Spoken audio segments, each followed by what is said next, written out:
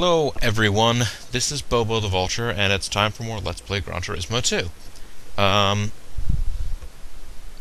last time was a somewhat longer than usual episode because I uh, got it in my mind that I really needed to get the Renault Espace F1, which I have. There it is.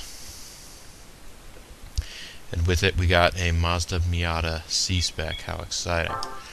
Alright, so first thing this Espace has to do after the thing that it's already done is go to the GT All-Stars and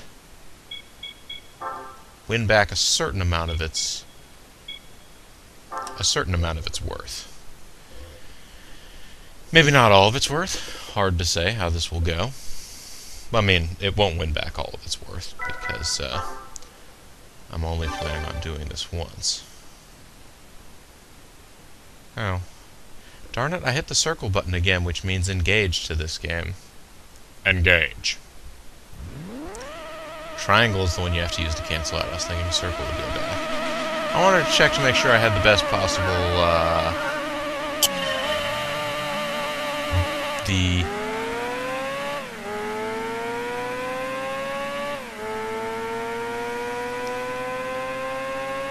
best possible tires.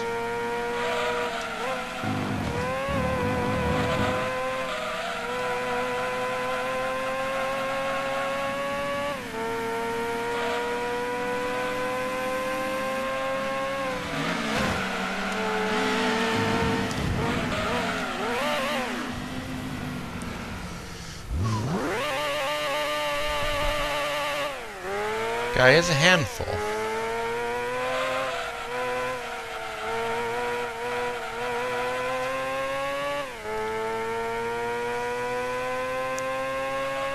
Guy is quite a little urchin.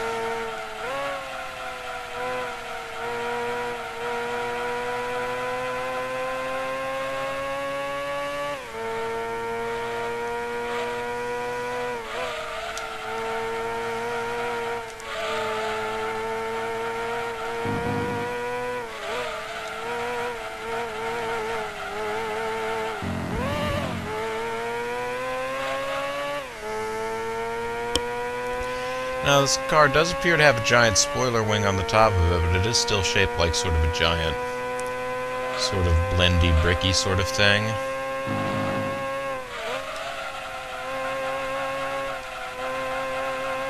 So bear in mind that its aerodynamics are not the best in the world.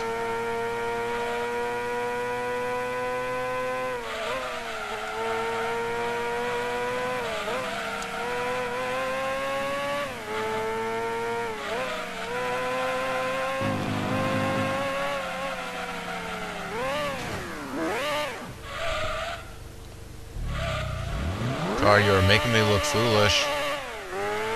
I've already looked more foolish than this going through the game before, though, so...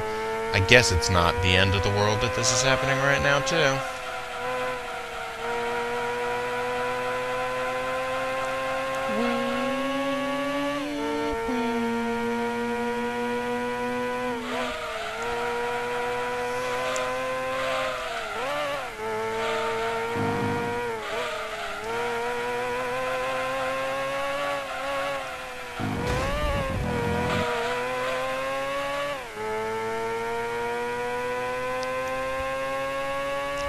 The thing I want to know, most of all now, is does this thing have a sixth gear?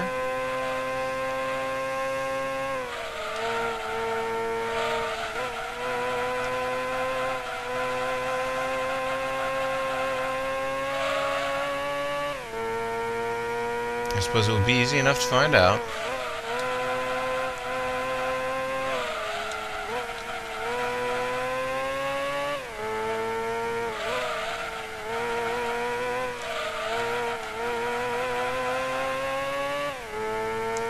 Um, I could either uh, race it as a manual just once and see how many gears I could get up, or I could just go into the, uh, you know, custom settings and uh, see whether, let's see how many gear ratios are there.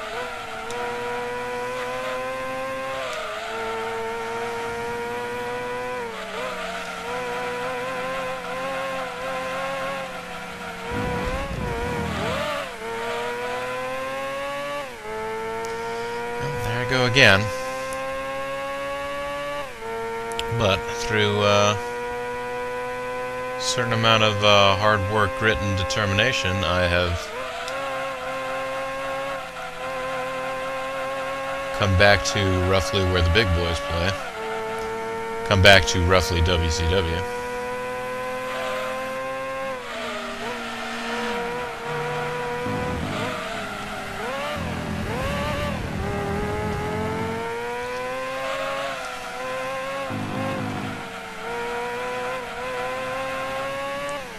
I'm trying to make that bull move past that uh,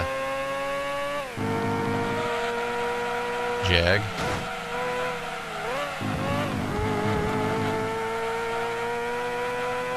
I wound up uh, getting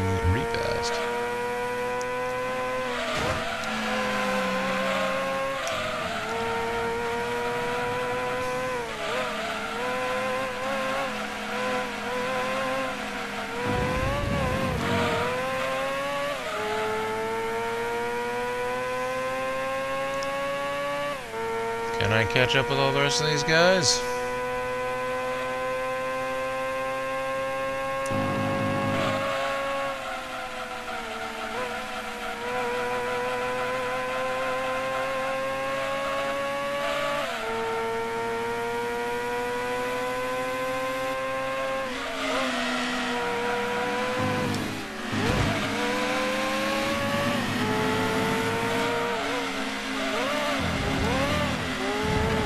Oh, it's too much. Oh no. Wait, that guy's panicking up there. He knows. He knows that I'm on his tail and I have his scent. He is the hunted.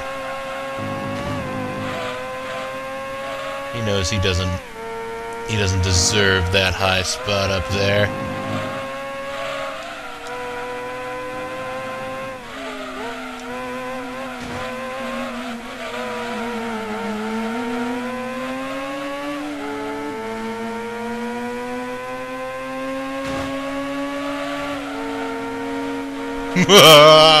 Cheat to win! All stars, you just got beat by a minivan. How's it feel? How's it feel? Minivan that repeatedly almost completely eliminated itself. Lotus Elise GT1, that's what that was. Okay.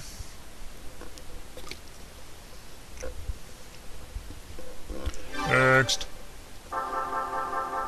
Let's get our bonus and our prize card. Let's not save our game. Let's continue. Let's continue to find a way to get out of here. Let's go to the uh, NA uh, Cup and trounce some things over there. Again, using a minivan. It's the fun way to do it, folks. It is the fun way to do it. Tune car number one. On the tune car number one. Ain't none higher. That's for show.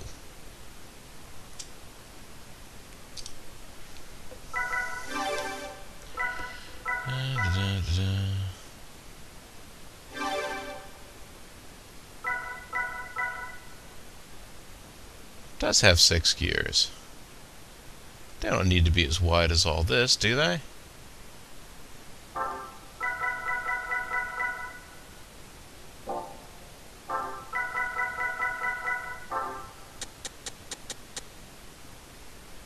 It was at 21. Let's try 15. See what we get out of it. It may just be that uh, the gearing is set where it is, just because, you know, the acceleration is fine. You'll end up losing some space by having to shift gears excessively. And uh, the top speed is more limited by aerodynamics, really, than the uh, strength of the engine. I mean, it's, a, it's cutting a big, cutting a big hole.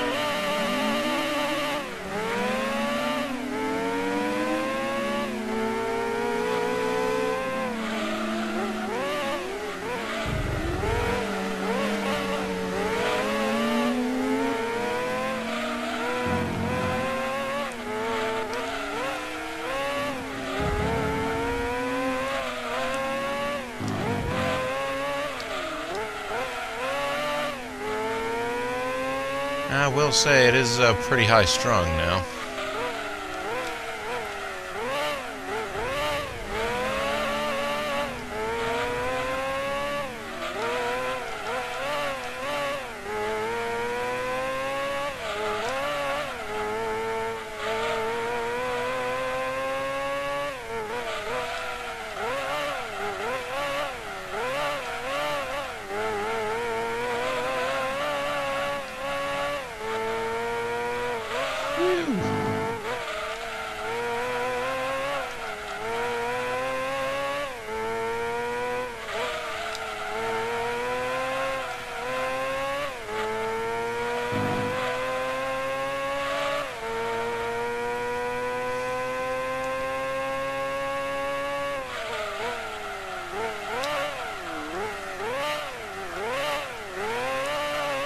And there should be no instance in which uh, you're getting down first gear, but... Uh,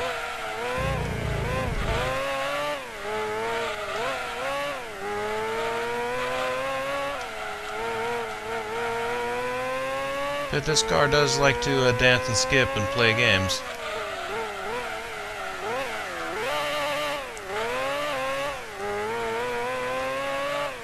Boy, does it.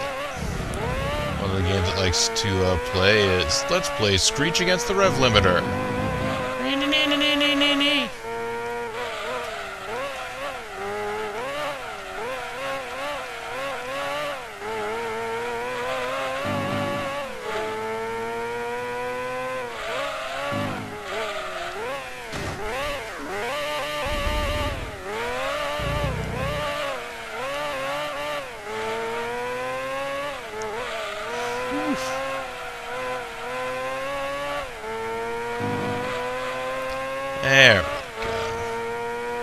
There we go. Back on course.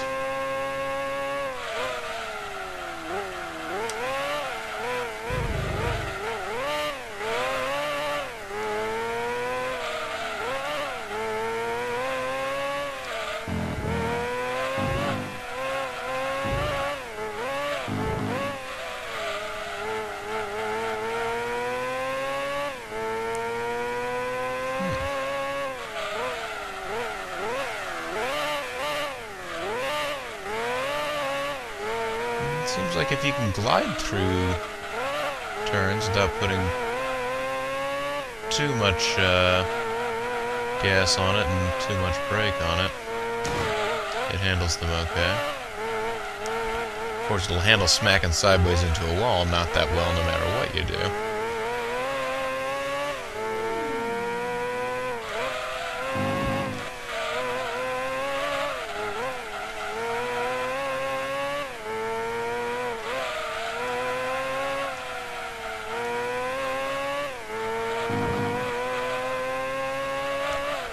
Right.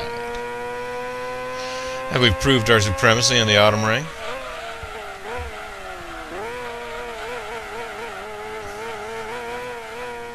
Oh, come on, racing style Peugeot 306. You're not even going to be number two? You sick. I hope your death is less to yours. Alright, so we got the crazy minivan that is uh, killing everyone now.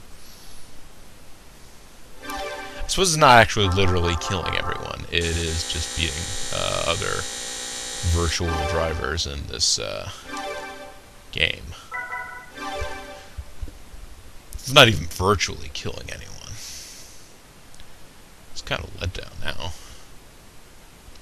Nah, it's fine, folks. It's it's it's good. It's a good car. Well, it's not really a car, but you get what I mean. Alright, so.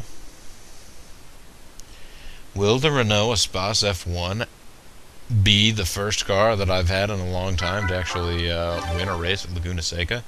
Considering how much of an edge it seems to have over uh, other cars in this championship, geez, you'd hope so. But uh, I could still screw it up. Just watch me try. Ding, ding.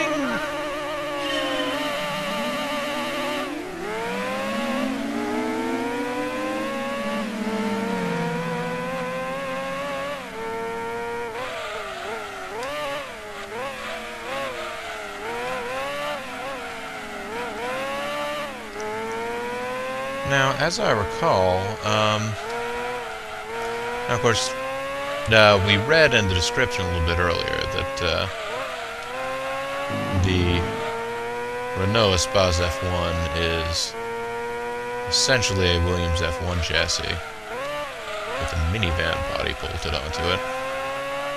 Williams Renault F1 chassis with a minivan body bolted on. Um, which means that this is essentially a very bulky and uh, not very good Formula One car that way. Um,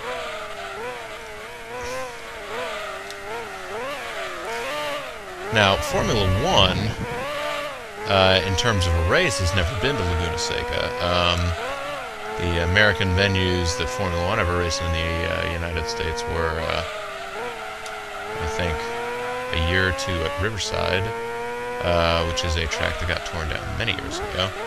I think in the 80s. Uh, um, possibly 80s. Um, Watkins Glen. There were a couple of city uh, courses. Um, like Detroit, uh, Phoenix. Um, of course, the uh, Long Beach was a very popular one. Um, they still uh, race uh, Champ Cars stuff there. But it was an F1 venue for a number of years. But, um, and Indianapolis. Um,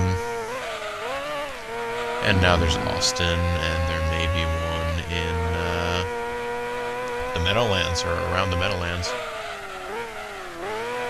And I'm probably missing one or two. I can't remember if I mentioned Sebring. I think they might have done a Grand Prix at Sebring at some point. That would have been many, many years ago that they had, but either way, Laguna Seca never been here. But um, as part of uh, one of the events that they do um, every year at Laguna Seca, um, they have a big uh, race weekend, uh, historic racing. Um, the uh, Monterey Historics, I guess what they call it. Um, and some of it is, and a lot of it is historic, like it's old, old racing cars, but uh, sometimes they'll have fairly new stuff out there. They'll do demonstration runs with things. And um, it was a couple years back, but I believe uh, Toyota Grand Prix brought. Of course, it was some number of years back. Toyota doesn't have an F1 effort and hasn't for a couple years now. Which is sad, but either way. Um, they brought their test driver, a fellow by the name of Ricardo Zonta, um, to Laguna Seca to try and set a lap record using an F1 car. And I believe he did, but uh, don't recall the details of it. And just going off of the assumption that he did, because in theory an F1 car probably should be able to go around a circuit like this faster than just about anything.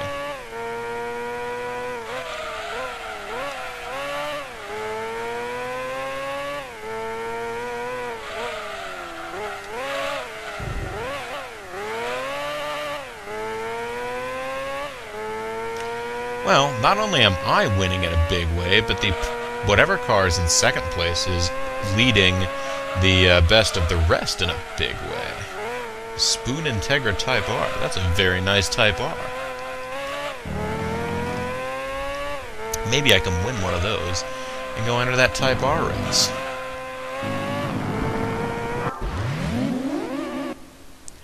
Well, there you go, folks. And that was actually a mostly clean run of Laguna Seca. I don't know if it's the fastest time. I don't know whether or not I would need an even faster time in order to be able to beat the All-Stars. But I was at least able to get the car around cleanly, which I can't say of every time I go out in this game and try and uh, race stuff, you know? I can't say that every time. I can't do it. It's no good. Can't do it. No. I can't do it. Okay, so I've actually won all of these events. Um, what does that make the car collection look like now? Well, it's going to involve a... What?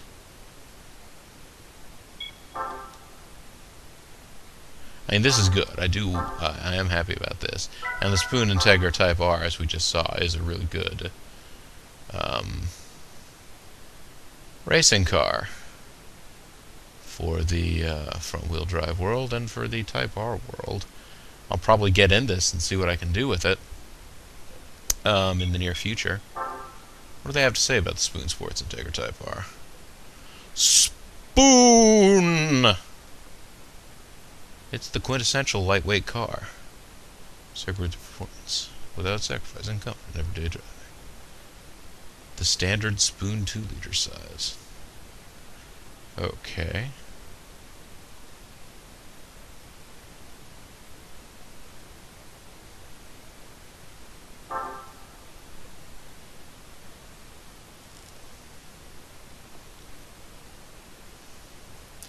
With lightweight carbon fiber hood, this car's already turned in the amazing time of a minute and three seconds at the Tsukuba circuit.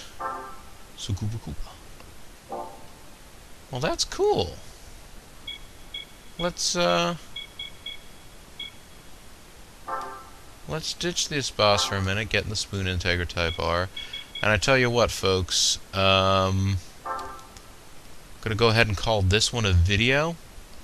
And when we come back next time, we will check out the excitement of this Spoonmobile. Spoonmobile. So, look forward to that, folks. This is Bobo the Vulture. This is uh, Let's Play Gran Turismo 2. Thanks very much for watching, and I will see you all next time. Bye-bye.